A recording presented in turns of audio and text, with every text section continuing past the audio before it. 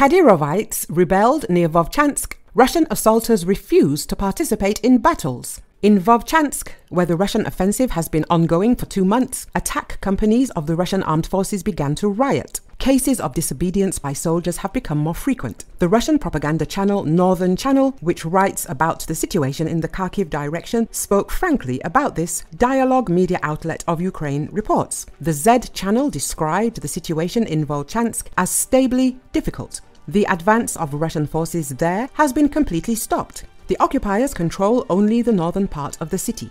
The losses of the Russian armed forces in Vovchansk were so great that the occupiers began to rebel. The Kadyrovites are among them. The assault detachments of the 153rd Tank Regiment and the fighters of the Akhmat Battalion refused to participate in hostilities on the front line. The Akhmatovites were in the reinforcement group, and when the assault detachments refused to go on, they supported them in a brotherly way, reported the Northern Channel. They clarified that the Russians there are dissatisfied with the high intensity of shelling, problems with food, as well as the tactics of commanders who drive their soldiers to slaughter. Z Channel clarified that the occupiers have not yet deserted, but simply refused to carry out combat missions. Russia launched a new offensive on May the 10th in northern Kharkiv Oblast, and Vovchansk became the scene of some of the heaviest fighting. Moscow's forces had advanced as far as 10 kilometers in the region, but had been halted by the first line of defense. The Russian military yet continues to use guided aerial bombs and missiles against the settlements in the oblast.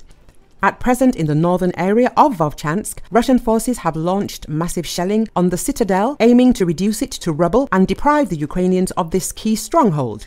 This intense bombardment threatens to compromise Ukrainian advances in this sector or even force a retreat from certain positions. Consequently, Ukrainian efforts have increasingly focused on the eastern part of Vovchansk, where they continue to make significant progress. Efforts are ongoing to link the Ukrainian advance from the east of the city with the Tik area, aiming to dislodge Russian forces from the hills. Footage from various Russian sources has shown intense aerial bombardments on Tik, confirming that the village and its surroundings are under Ukrainian control.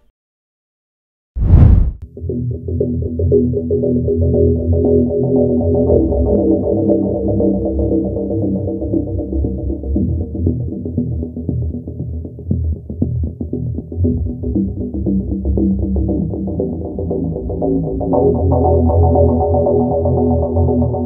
you.